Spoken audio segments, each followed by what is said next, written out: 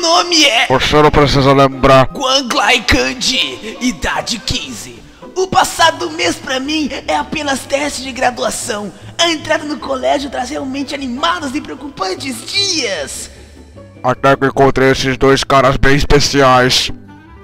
Droga, machuca! Vocês estão o quê, retarda? Eu sou madeira. Estúpido. Mas que belíssimo! Dueng! Tchu! Não deve existir outro lugar tão belo quanto esta cidade. Isso parece muito como um piquenique. Tchu!